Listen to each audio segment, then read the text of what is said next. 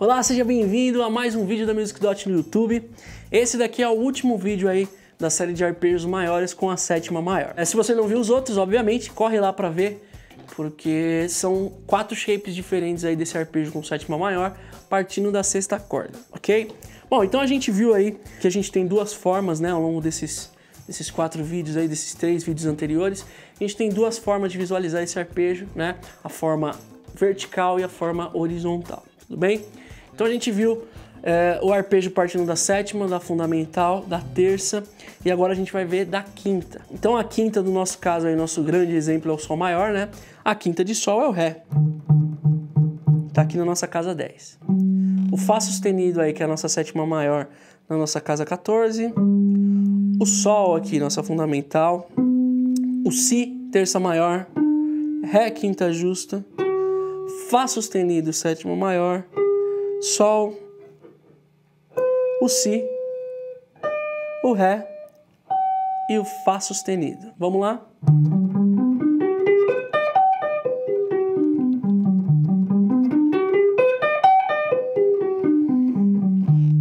Ok? Então, ó. Um, quatro, dedo um, dedo quatro. Aí eu utilizo o dedo dois aqui para pegar no Ré, né? Dedo um, dedo dois, dedo dois, dedo um, dedo 4.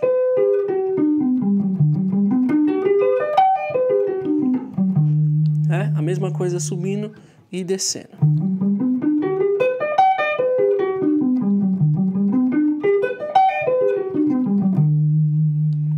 Legal? Vou fazer todos aqui. Então, começando na sétima.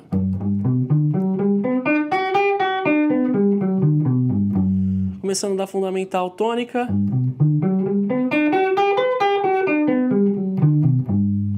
Começando da terça maior.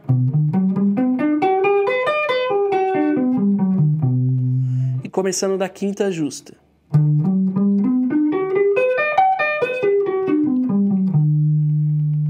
De novo, vamos voltar agora.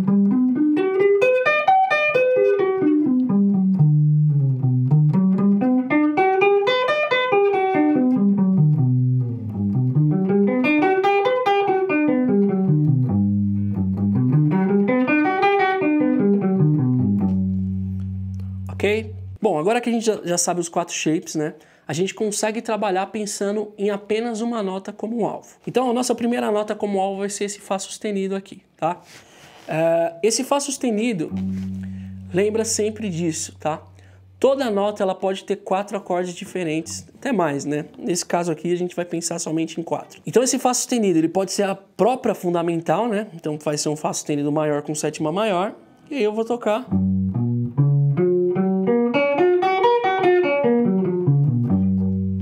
ok? Esse Fá sustenido, ele pode ser a terça maior de alguém, que é a terça maior do Ré,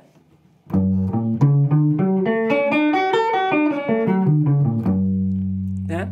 Esse Fá sustenido, ele pode ser a quinta justa de alguém, que é a quinta justa do Si. Né?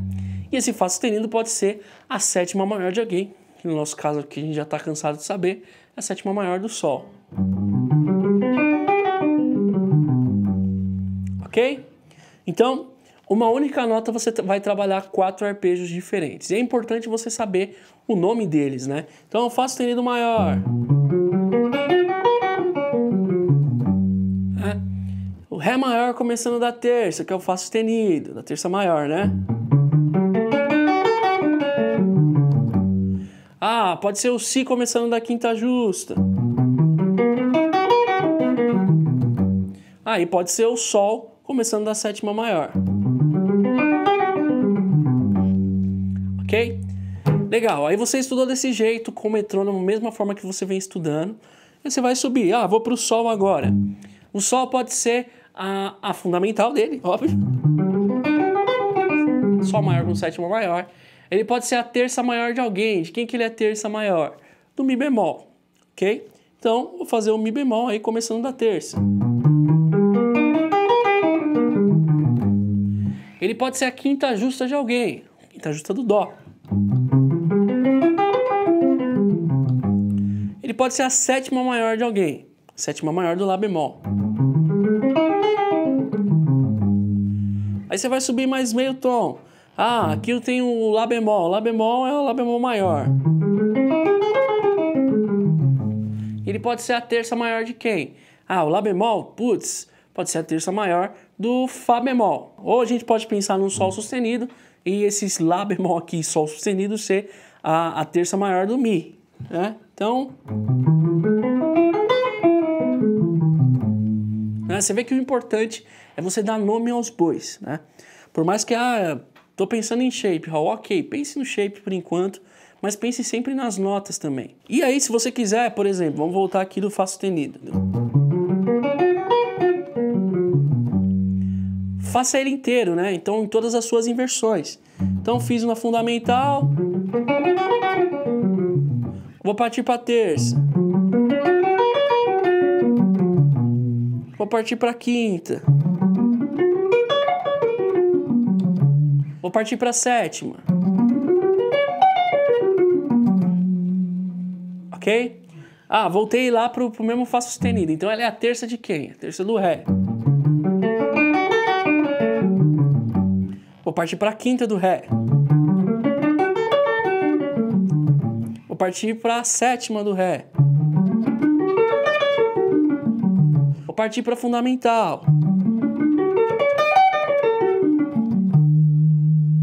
E assim por diante, com todos os outros acordes. Então isso, além de te ajudar a treinar a parte motora da sua mão, a sua parte técnica, isso vai interiorizando em você a sonoridade dos arpejos, né? Principalmente, obviamente, se a gente está estudando sétima maior, maior com sétima maior, desse arpejo maior com a sétima maior. Então é muito, muito, muito importante que você estude isso. Mais que possa parecer besteira, ah, putz, mano, nem vou improvisar agora, não sei o quê. Uma hora você vai improvisar, isso eu te garanto. Ou uma hora você vai compor, uma hora você vai fazer um arranjo.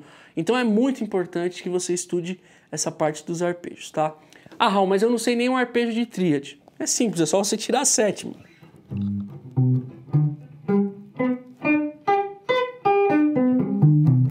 Fora isso, a gente tem vários cursos lá na Music Dot que fala sobre esses arpejos de tríades, alguns cursos também sobre arpejo de tétrades, a gente tem alguns lançamentos aí próximos sobre improvisação e tudo mais. Então fique esperto, principalmente lá na plataforma, porque lá você vai ter acesso a um conteúdo completo e exclusivo, ok? Mas aqui no YouTube, assim que conforme dá, eu vou colocando algumas coisas aqui, algumas dicas que eu acho que são muito importantes e são principalmente coisas que eu estudo, tá? Isso daqui, tudo que eu passei até aqui para vocês é como eu estudo e é uma coisa que tem me ajudado bastante há muito, muito, muito tempo.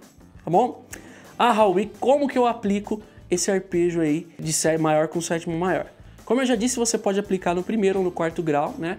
Então, no primeiro grau aí, o campo harmônico que leva o nome dele, ou no campo harmônico do quarto grau de alguém, né? Então, no caso de Sol, ele é o quarto grau de Ré, o Ré é o quarto grau de Lá, lá quarto grau de Mi e assim por diante. Então é importante você conhecer um pouco também sobre os campos harmônicos e tudo mais. Eu consigo aplicar numa outra forma, Raul? Consegue aplicar de várias outras formas em acordes que não são necessariamente maiores, ok? Só que isso daí é um assunto para uma outra aula, beleza? Espero que você tenha gostado dessa série. Eu vou continuar ainda na série de arpejos, provavelmente não vai ser na próxima segunda, né? Vamos intercalar aí algum, algumas segundas aí, mas na próxima segunda vai ter outro vídeo de dicas aí importantes que com certeza você vai utilizar para o seu dia a dia de estudos, de prática e de palco e seja lá o que for, beleza? É isso, não se esquece de, de se inscrever aqui no nosso canal, dar aquele joinha maroto, compartilhar com seus amigos, comentar, ir lá na plataforma conhecer, seguir a gente nas redes sociais e isso aí. Te vejo no nosso próximo vídeo segunda-feira que vem. Opa, abraço!